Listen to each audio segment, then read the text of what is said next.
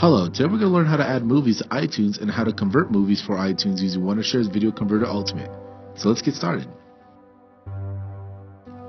To add movies, make sure your video is compatible with iTunes. iTunes can only read MP4, MOVs, and M4V video formats. If you have the correct format, just go to File and Add to Library or hit Command W. From there, find your video and click Open. And there it is. Your video will pop up here and you can play it by double clicking it.